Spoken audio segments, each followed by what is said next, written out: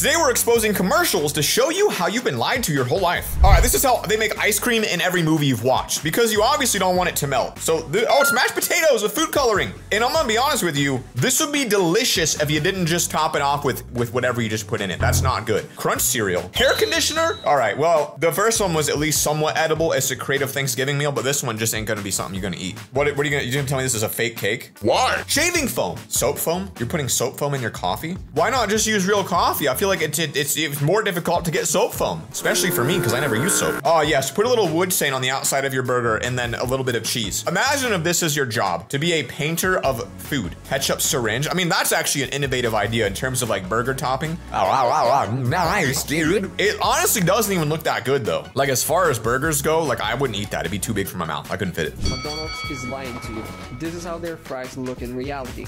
Instead, use a sponge. That is genius. And which one would I buy? I would buy whatever they give me because McDonald's fries are the greatest. I don't care how they look. I'm going to eat them all anyway. Testing if it's really true they use PVA glue in cereal commercial. It's got to be true. To that, we're gonna add some glue. Oh, that This guy's gotta be from the actually- Netherlands, dude. We're gonna add the cereal. Oh, it looks so good. I mean, now that I know it's glue, like I can definitely tell it's glue and it actually looks kind of disgusting to me. Like I don't want glue cereal. I want milk cereal. How about this? Melt off the outside of your apple and it turns green. What? Dude, this is weird. Is this gonna be a pancake? Little yogurt pancake? An egg? That, that, just a real egg looks better and it's not even hard to use at that point. That doesn't even make sense to me. Motor oil?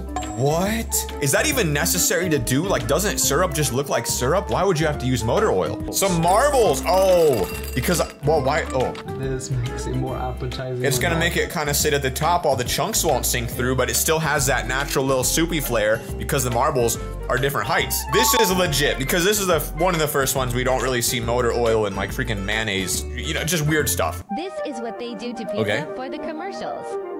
Oh, that's a floppy pizza, bro. You just bought a bad pizza in general.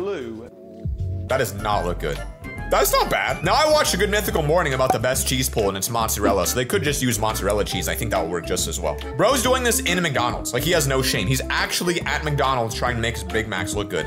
And that, that does look really good. Look at that. Oh, a fake biter? Dude, I know earlier I said something about my mouth not being big enough, but like you put that in front of me, I will take that perfect bite. That's not even perfect. Look how much bigger the bottom is. That's a terrible bite. This looks like fairy cake. I know what that is, New Zealanders, Australians. I don't know which. I think it's New Zealand, I'm pretty sure, but I might be wrong. I think New Zealand does fairy cake. Fairy bread, fairy bread, fairy bread, that's what it is. This is the trick to getting the perfect squeeze. Are you injecting that?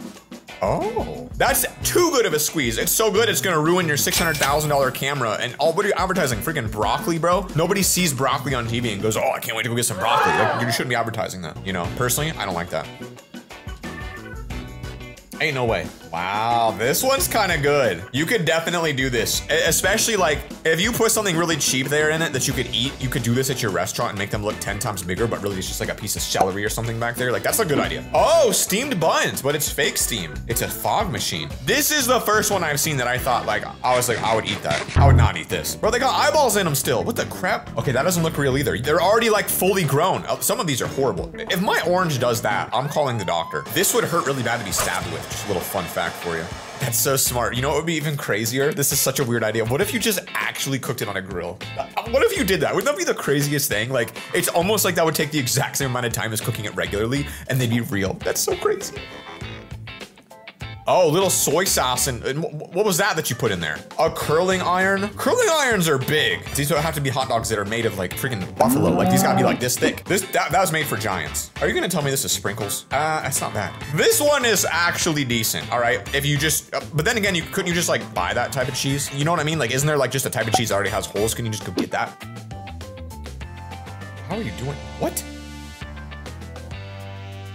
It does look like marker. Well, that one has a bite out of it. No wonder it looks bad. Foam chicken. It looks fake. It does look fake. That looks better to me, the second one. I'm a coffee aficionado, so I'll tell you guys right now which one I would drink. Looking at this, it's very similar to soy sauce, I would say. I guess I don't know coffee as well as I thought, because I would think that looks better. I just spilled coffee all over myself, guys. This is embarrassing. That is interesting that it does look like ice. Ah. I know that these are meant for commercials, but all I can say is nothing gets me hungry like seeing shrimp eyeballs on a baby diaper filling. This is cool. Oh, what are you advertising that you need giant smoke blasts and fruit that fall in? Bro's just straight up advertising fruit. That's his whole commercial. He's like, get oranges. Don't care where you get them, just eat your fruit. Ever wonder how many takes we need to shoot until we get the right shot? Yes. As many as it takes. In this instance, Oh. it took three. This was the Not first good. date. Not good. This is how people eat in commercials. Wow. Look at that guy on the right. Wait, wait, wait. Hold on, hold on. Look at the guy on the right and look at his tongue. It's like wavering. Watch it, watch it, watch it. Why does it do that? Whoa, that's so weird. shoot a Twix commercial. Oh. I'm David, I'm a director, and for this shoot, we used engineering and robotics versus This is the big money commercials. liquid chocolate is one That's of the crazy. most difficult foods to shoot because it's volatile and tough to maintain at the right temper consistency. Wow. That's a, that's a, I mean, yeah. This is expensive, right? We got this, then we got those people that come out and paint it. How you gonna do this when we got those stupid fake straw? Oh, wait a minute. This looks like George Washington hair if you put it all on you together. Noodles. It's made of felt. Eh, I that one I'm gonna go ahead and give a thumbs down to. I would I would definitely see that and say why is my noodle furry? Ever wonder why bacon is always nice and curly in photography? This No is how way. food stylists make bacon. This We is creative. foil and layer the bacon over I'll bet the it tastes better. to create curly ridges. Ooh. Then I wanna we do place this. the whole sheet tray in the oven Okay. and let it bake until crispy. But how long? That's the problem. You didn't tell me how long to bake it for, and that's the issue. Because every time I bake it, it's still not crunchy. I don't know how long to put it in there. So for this secret commercial, I decided to repurpose some towels that I already had up on my wall to create a bathroom set. I painted everything blue to match the packaging of the aluminum-free deodorant. Wait, this is deodorant?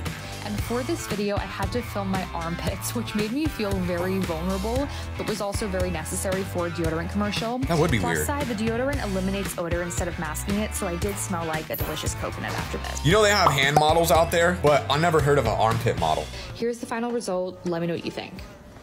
I mean,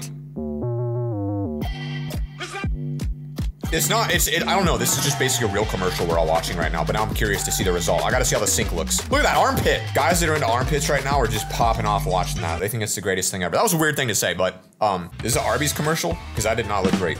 Oh, wait a minute. This one, I don't know. This one like hit me in a spiritual way for some reason. Like I saw that and I was like, dang, that is so much better on a burger, dude. And a little bit of barbecue sauce and a little bit of crunchy onion. I got this specific thing in my mind. I'm salivating, bro. I can't. All right, so we got a talented artist here. Let's see what you're capable of doing. I also am a bagel expert. I love bagels. I love putting a little salmon on them, a little cream cheese, a little lettuce, eating in the morning. It is a it is the great, greatest thing I'll ever eat. Smoked salmon, bagel. Wow, you got a little talent here. Now, I will say I do like my bagel a little darker than this. This looks a little, ooh, Oh, that looks a little sus. Some cream cheese, okay, okay. Now that's interesting. Not a combo I would have thought to get, but I'll say it could work because I know that peanut butter jelly and butter works. If you haven't tried it, try that too. How the food industry fakes their ads. Wow, that's crazy because I know this is chicken, but I'm also thinking this would happen to human flesh.